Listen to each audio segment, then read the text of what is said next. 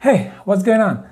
So just the other day, I was wondering, uh, we don't see fireflies that often these days. See, I'm living in Colombo. Though it's Colombo, like I'm, this is like outer skirt of Colombo. So it's not all concrete jungle here.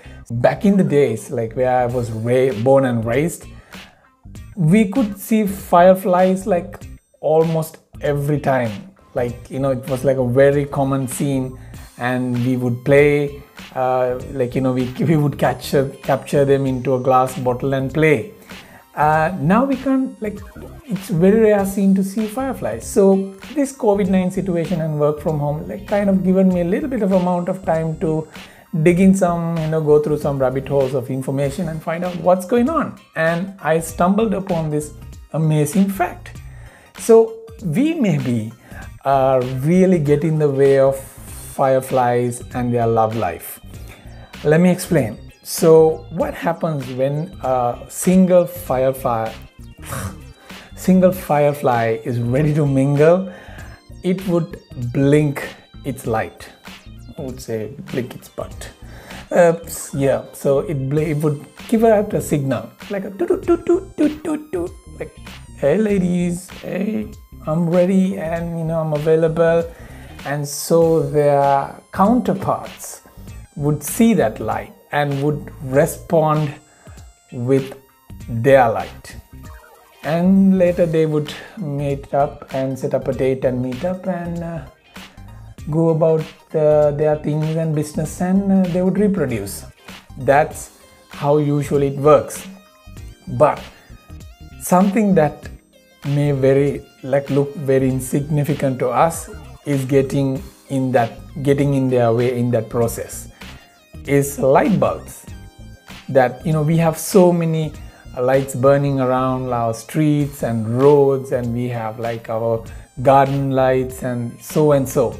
So what happens is that when we light up our lights like around us to illuminate obviously it's very important to have all these things in our lives as humans but like when we light up all this stuff that that the firefly light that they illuminate their signal light is kind of getting uh, sunk into the like you know the illumination from the bulbs and that their counterpart would not see them. It's like hey i'm here uh, like you know i'm ready but they won't get no signal back.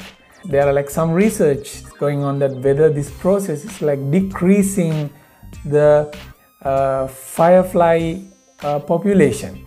And uh, what i read is that fireflies are can be really really helpful when it comes to agriculture. And they could help uh, they could be helpful in uh, you know in many many other things. And they are like very important part of this whole environment. And because of this kind of like you know I I was mind blown to read, hear and read that. Who would think like you know lighting up a garden light would interfere with the nature so much? That's just crazy.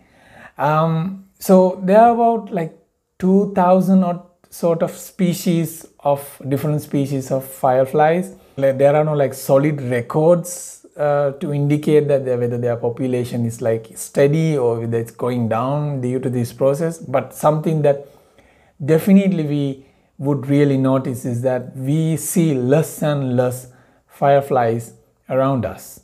And uh, yeah, that's what's happening with fireflies and how we are getting in their love life, in the way of their love life. All right, it's uh, right. I think it's time for me to go to sleep. I see you guys tomorrow.